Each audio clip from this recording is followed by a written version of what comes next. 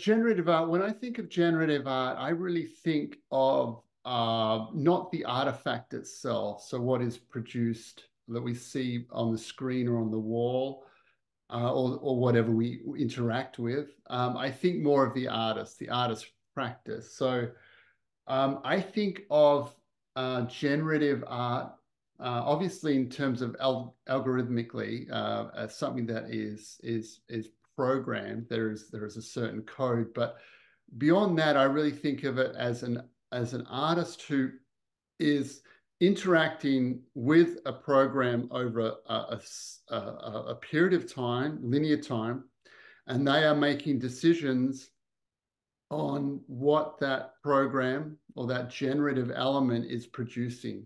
So it is a decision-making pr program, a linear program in which this art is evolving and producing either images or sounds or sights uh, and the, the artist is following certain paths and making certain decisions in time. And that to me is generative art. So um, we have the generative engine, the thing that is producing, say, in, in the example of form, a form that is produced, and then the artist is picking that form, making adjustments to the parameters of that generative machine, be it a computer or something else.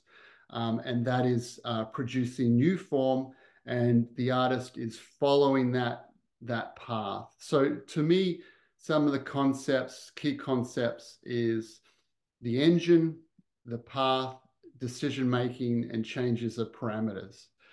And what that's what makes it so interesting with artificial intelligence, I think, is what is the conversation.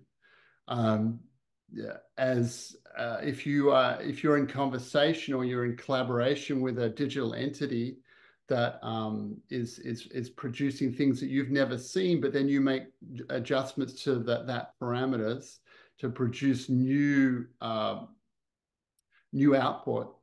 Um, what is the relationship when the artificial intelligence gets to a point where um, it's it's no longer collaborative, and that's what I think is interesting about today's um, where we are today.